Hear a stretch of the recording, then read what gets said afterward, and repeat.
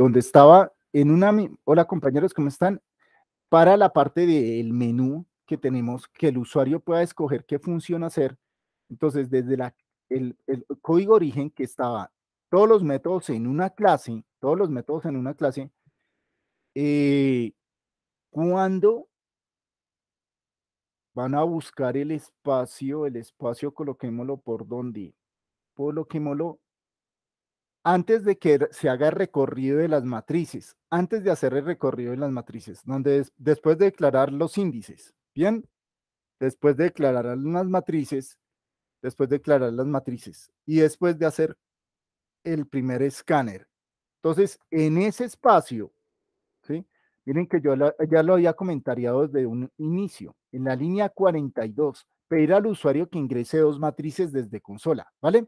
Entonces, acá lo pueden hacer de dos formas. Primera forma, con un JPaint, con un JPaint, pueden hacer con un JPaint Show Input, un Show Input, le pueden decir al usuario, envían una, le envían como un, un menú donde decía, señor usuario, buenos días, ¿qué desea ingresar? ¿Qué función desea realizar? Uno, le podemos estar como colocando en un menú.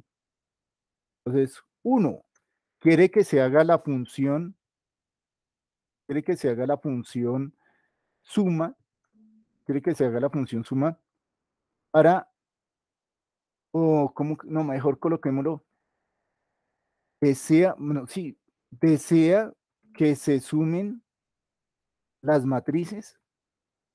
Dos, desea, desea que se resten las matrices.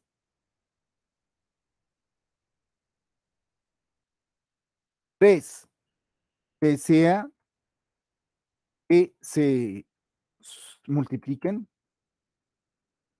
Multi, cuéntame, multipliquen las matrices. Sí, igualito. Igualito, compañero, ahí le pegó al clavo.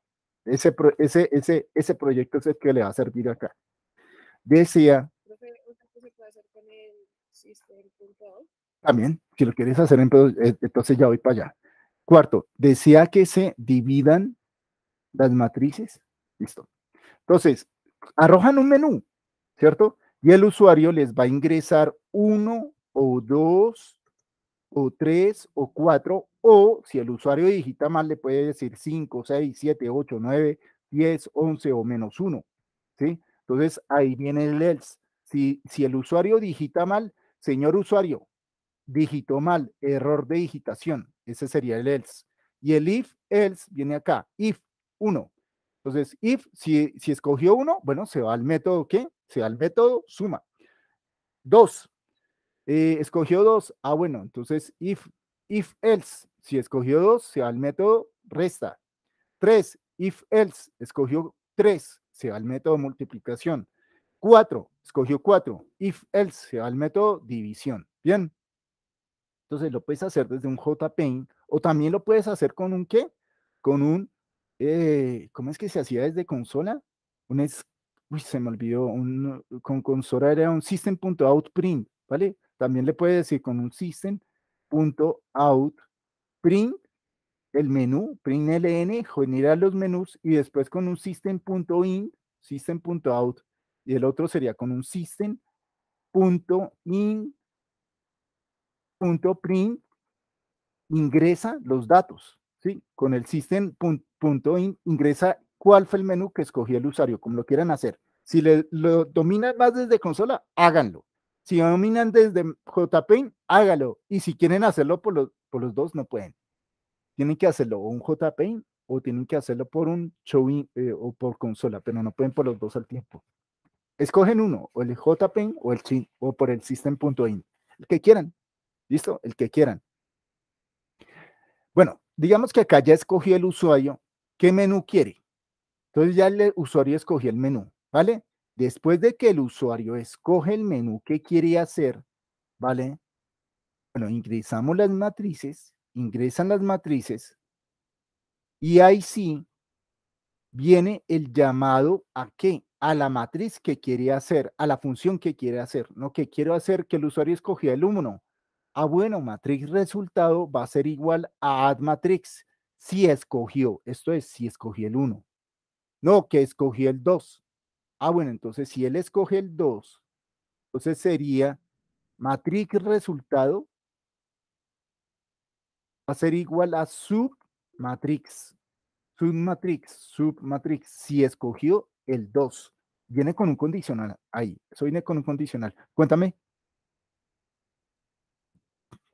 Eh, yo también hice abajo, o sea, digamos como en el if, cuando le puse abajo después de ingresar la matriz. Pero, digamos, si uno ingresa 5, aún así igual le pide que ingrese la matriz. O sea, si no sé, digamos, si uno ingresa 5 o 6, pues como que se acabe de una vez el programa. Bueno, depende de la visión como lo veas. ¿Qué quieres hacer primero? ¿Ingresar las matrices y después pedirle la operación? ¿O le pides primero la operación y después que ingrese las matrices, como quieras? Si tú le dijiste...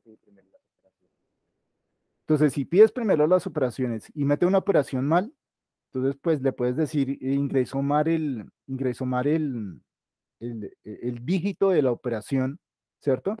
Y si tú quieres, lo sacas del programa o pues puedes hacer por ahí un do while. ¿Te acuerdas cuando hacíamos el programa de carpintería que el programa seguía y seguía en el ciclo para que él nuevamente copie, digite, bueno, el uso, eh, la opción 1, 2, 3 o 4, ¿vale? Para que pues si lo hace sin culpa no se salga el programa. Bien. En tu caso, pues ya después debe pedir las matrices. Bien. Sí, lo puedes hacer así. Sí, si quieres primero, pides las funciones y después las matrices. O los otros dirán, no, yo quiero primero pedir los operadores y después la operación, como quieras. Perfecto. El número mal. Igualmente sigue el código así pidiendo ingresa las matrices.